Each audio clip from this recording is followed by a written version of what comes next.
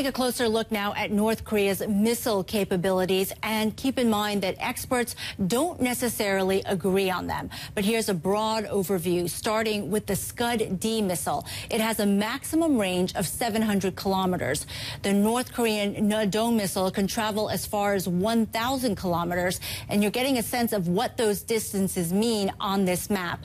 The Taepodong 1 missile has a range of about 2,200 kilometers. Now the Taepodong X has a maximum estimated range of 4,000 kilometers. That means it could reach India, Central Asia, and the Philippines. Now, next up, the Taepodong 2 with a reach of 6,700 kilometers. That's striking distance of Australia, Guam, and possibly Alaska or Hawaii.